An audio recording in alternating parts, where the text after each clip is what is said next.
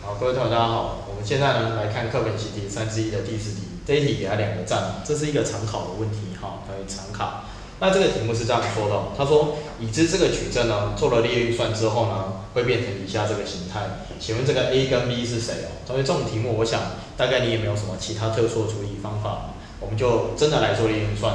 那首先你观察到这里是一，然后下面这个是什么？都是零，所以我们对于原来的这个矩阵呢，我们可以选择把第一列乘几倍加到第二列，乘负两倍加到第二列，还有把第一列乘几倍加到第三列呢，乘负三，对不对？好，加到第三列。我们先让这两个元素通通变成零，那我们第一列先照抄，好，没有改变的我们先把它抄下来，一负三，负二，负四，好，那乘负二加过来，同学这里变成零。好，乘负二这边变六，六加一是多少？七。乘负二四加三，这里也是七。乘负二八加六多少？一十四。OK，来乘负三加过来，这里是变成零。乘负三加过来，九减二七。乘负三加过来，六加五十一。乘负三加过来，十二加六十八。好，同学，我们先做完第一个步骤。的列运算，来，老师等你哈，这样可以吗？好，先做到这边。OK，有没有问题？那做到这里之后，同学，那你再继续看。他希望这个元素是谁？一二三的一嘛。所以同学，你有没有注意到，我们下一个列运算应该可以考虑把这个第二列乘以多少？七分之一，对不对？就是除以七的意思。所以我们现在做第二个列运算，来，我们把这一列乘以多少？七分之一。可以吗？那乘七分之一，老师不妨偷懒，我们就直接这样写哈。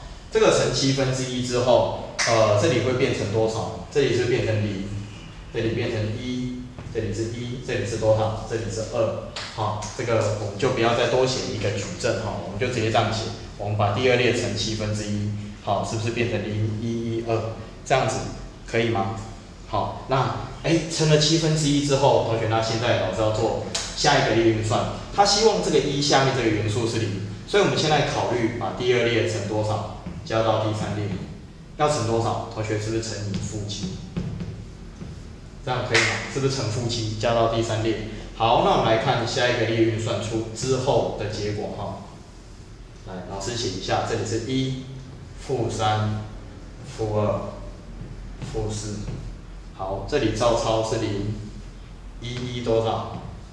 二，乘七呃乘负七加过来，这里是零，乘负七加过来这里是零，对不对？好，这里是零。好，乘负七加过来，十一减七，所以这边是多少？四。好，乘负七加过来，负十四加十八，所以这里是多少？这里是不是四？可以吗？来，老师目前做到这里，有没有什么问题呢？没有哈，好，那最后来同学请看这边，对照一下这个矩阵，一负三负二是零一一多少？A 对不对？所以同学你这里已经看出来了，来告诉我你的 A 是谁？你的 A 是不是二？对不对？你的 A 是不是看出来是二？那零零四四哎等于零零一 B 哦，那同学其实我们这边再做一个例子算，我们把这个第三列再乘以多少？再乘以四分之一。对不对？那这个第三列就变成零零多少一一嘛，好，是变成这样。所以从这里我们应该可以很快的看出来，同学你的 b，哎，告诉我你的 b 是谁？b 其实就是一，好，这样同学有没有问题？其实同学这个做列运算哈，你就是要把过程写清楚。好，那我想最后答案 a 等于二，b 等于一。好，谢谢各位同学，那我们这一题就跟你简单的谈到这里。